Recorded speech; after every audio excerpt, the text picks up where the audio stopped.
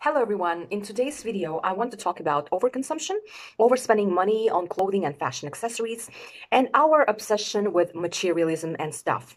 And in today's video I want to give my opinion from a consumer point of view and not necessarily from the legal point of view, although you will see some glimpses of the latter. So let's get it started. Let's talk about women as uh, number one consumers in the world. According to Jordan B. Peterson, women dictate and dominate the market. And according to the Forbes magazine article, the Forbes magazine says that women drive 70 to 80% of all consumer purchasing decisions.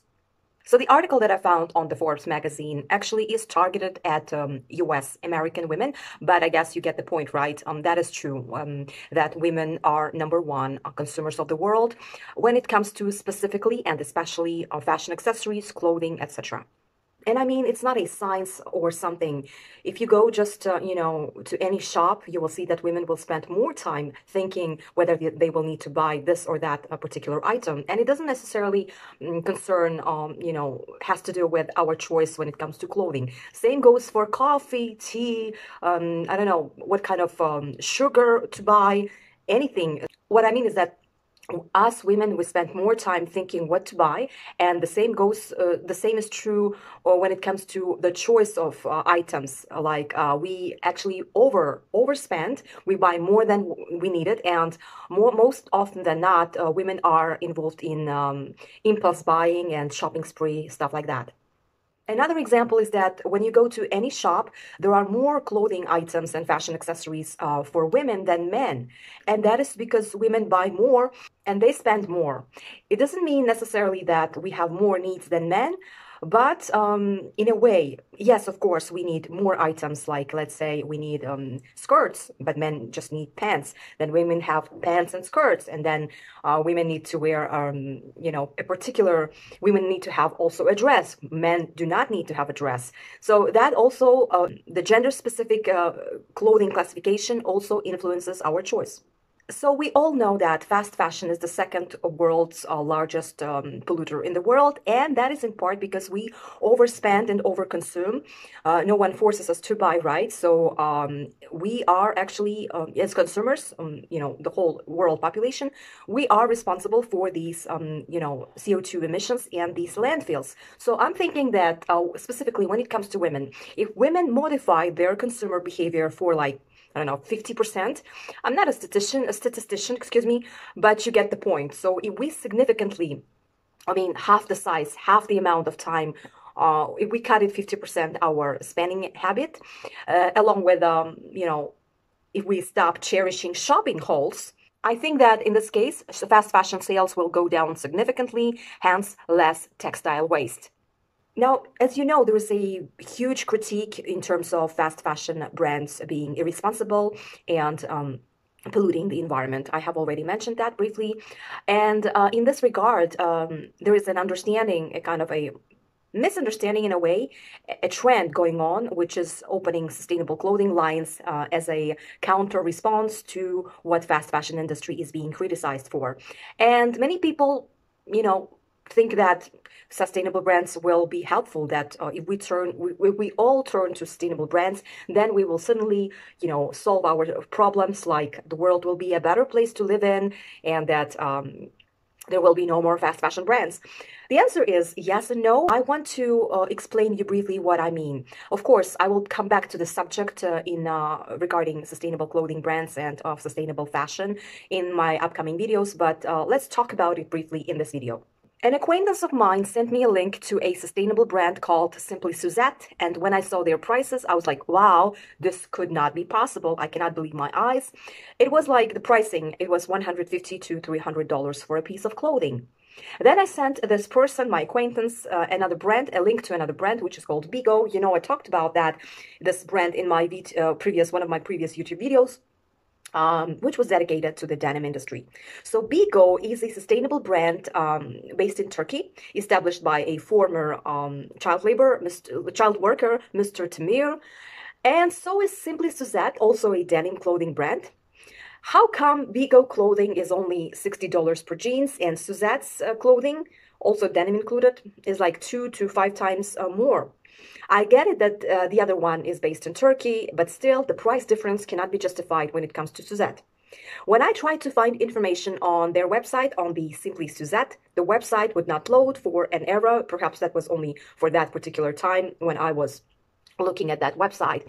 But the point is that, um, you know, sustainable brands are today proposing in 95, 99% of the time, they're proposing us higher prices. Well, higher is not the word, like skyrocketing prices, like and uh, when people look at these prices, they, they of course will not uh, turn to buying uh, from sustainable brands. As for Bego, I can assure you that it is sustainable and that I have a strong belief that, uh, you know, they are 100% ethical.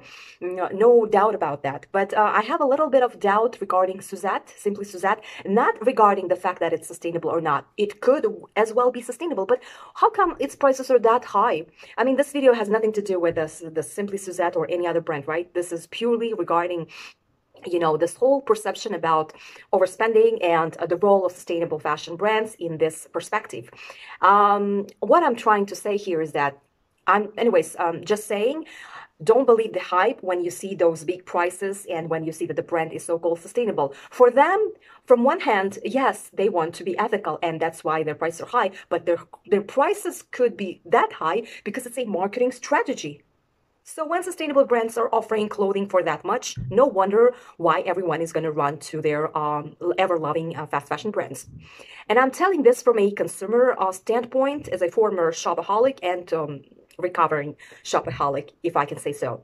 I am being completely 100% honest here. I think that honesty is um, a blueprint when it comes to people, you know, transitioning from, you know, being uh, avid uh, sh shoppers, vivid shoppers to someone who sees that there is a problem in that, not just a global problem, but the individual problem and our attitude and our relationship with the mother nature and uh, with, uh, you know, simply uh, what matters in life and what not. So sustainable brands, um, that being said, are not going to save the world from overconsumption, weak labor conditions, and the environmental damage.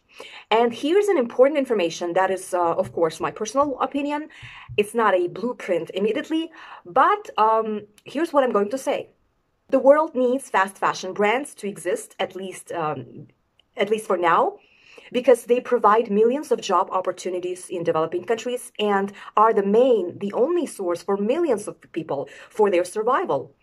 Of course, fast fashion brands cannot, the whole fast fashion industry cannot just exist the way it is for years, for, you know, because now it's really the time for them to change their uh, business model. So the business model called fast fashion needs to change and needs to adapt to the realities and the needs of our time. What am I proposing? I'm, I'm saying that um, if um, the following things will be done by the fast fashion industry, then um, the world will be a better place, environmentally speaking. So first, increase prices, which will be inclusive of and reflect better garment workers' wages. And second, no more 24 collections per year. And speaking of high prices, you know, I said that prices of fast fashion uh, brands are very low, and then the sustainable brands, they are now proposing really like quite skyrocketing prices. And then there go, uh, you know, high fashion brands. In the example of, for example, Rihanna's Fenty uh, fashion line, Louis Vuitton closed down Rihanna's Fenty fashion house in Paris. Um, you know that uh, Rihanna's fashion line, uh, clothing line, is as um, well as everybody else's. Uh, you know, when it comes to high fashion, their prices are the highest, right? So, um, in this regard, it looks to me that the closure of the, um, the shop in Paris has to do with the fact that the expectations did not meet the needs of the market and the clientele. As I have observed, the Fenty clothing line is quite expensive and slightly speaking a little too trendy and, um, you know, like uh, revealing and it's not um, it's not very um, you know business type or something like that um, it's more kind of like um, I don't know, fashion nova with a mix of, um, you know, business uh, attire, so that kind of thing. And the young generation is Fenty's clientele. So really, they have no such big money as to pay 800 um, US dollars per an outfit, right? Um, they might have like around 100 or I don't know, 80ish, uh, something they pay for um, Fashion Nova and other brands. So what happened in the situation is that uh, the prices were high for the existing clientele of the Fenty fashion line. We know that trends do not stand the test of time, or else another word for the above mentioned fashion line would be unsustainable. Hence is the closure of the shop. So that was my video regarding overconsumption, uh, prices that need to be, you know, average, that they need to correspond to, you know, labor conditions and uh, respond to the needs of the market, that we cannot just propose high prices and say that we are sustainable. Yes, the brand is sustainable, but um, they will not be selling if their, their prices are skyrocketing. And also, I talked about the role of women. Uh, women um, dominate the market and um, dictate uh, the market, as J.B. Peterson said. And uh, Forbes magazine said that we are 70 to 80 percent. You know, you know, we we control the consumer decisions, and um, and that we are also number one uh, shoppers. Um, you know, when it comes in comparison with other groups like men and older age people, etc. The point is, the overconsumption is the problem, and uh, we, we dig deeper than the fast fashion industry. Apart from overproducing, uh, it has uh, caused problems in the area of uh, working um, conditions in developing countries um, and also it has caused the environmental damage. But regarding the environmental damage, it's also related to the fact that we, people in developing countries that have uh, more or less reached the level of developed countries, and uh, first and foremost, uh, people in developed countries, in advanced economies, we overconsume. Hence, this is the main problem because we do not ask uh, a question as why these prices are low. Yes, we know that they were made in Bangladesh, in uh, India, etc. But um, here comes a turning point when people are really um, you know there's an awareness going on and um, i think that that's good i think that people need to uh, spend less uh, on clothes and hence um, you know there will be less uh, overconsumption less consumption of clothing what i mean and hence there will be a decrease in mass production of clothes Thank you for watching. If you have stayed until the end of the video, I will be uploading every Sunday by 10 a.m. CT, Central European Time. Until then, I wish you uh, a good day, mm, good week, and uh, see you next Sunday. Bye.